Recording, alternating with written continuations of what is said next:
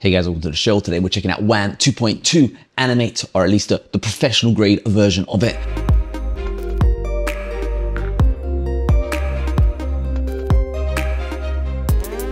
We're going to be using Higgsfield AI's recast feature, which uses WAN 2.2 Animate under the hood. Now, previously I used WAN with my Mac Studio, the latest, the biggest model there, and it ran very, very slow. And the, even the biggest, biggest model, that one didn't run, required way too much memory. And I have learned a few things since then, so I might jump back into it if this is any good. Now, in case you don't know, WAN Animate allows you to not just change the face of the character that's being displayed, it also mimics the body movements accurately, really, really well. So we're gonna see how it does. And the good thing about it also is that it is open source and open weights. So you can go ahead and try it running it yourself on your computers. And if you're interested, if you want a guide on how to do it with this feature, let me know in the description below. But let's just see if it's worth our time. So we're gonna be using Higgsfield AI recast feature, which uses it under the hood. It says that generations take around, how long does it take? Right, it's 30 seconds to two minutes and it's not just a normal face swap.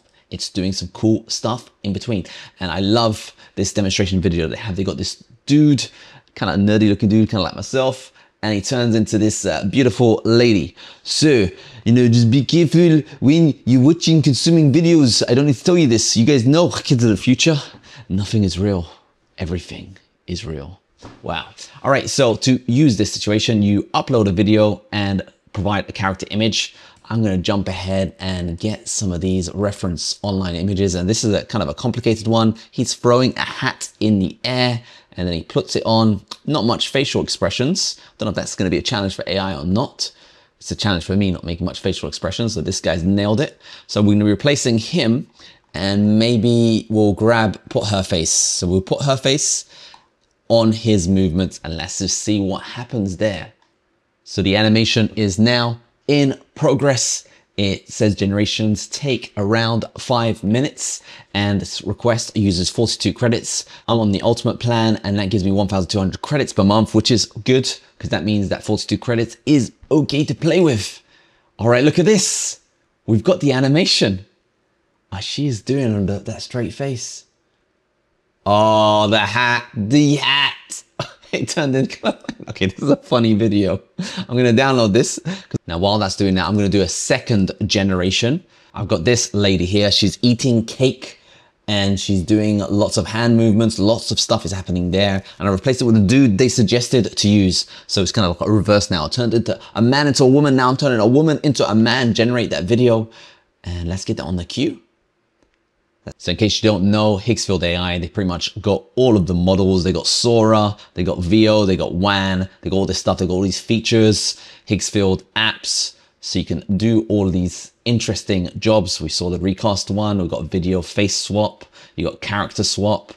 You got lots of different stuff. And what I love about this is if you actually click on one of the images, it actually tells you the prompt they use to generate this. So you can just copy that copy the clipboard and you can recreate this scene or a very similar scene from it.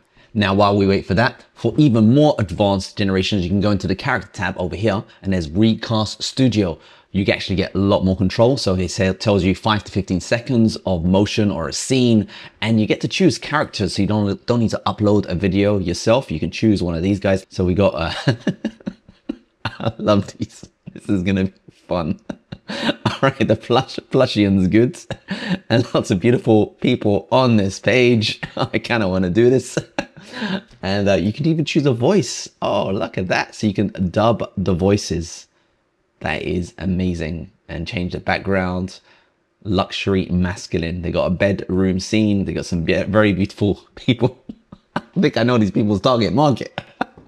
but let's just see uh, professionals. Oh, this is a fun situation. So let's just wait for that video to make and then we see the eating scene as well as the hat throwing scene and see how it's. Oh, this looks good. this looks good. let's see. It's the dude. They've made his face less pixelated. I provided it a really bad version of this. He's doing the hand movements. He's looking confused. He's got the face. Okay, the cakes gooed up a little bit. Oh, there's a little bit of artifacts, which is I think it's good, so we can still decipher what the truth is, but it's mostly there. it's mostly there. So this technology is getting really, really good. So if you are interested, this was Higgsfield, lots of stuff to do, different pricing strategies. Check out the description for a link.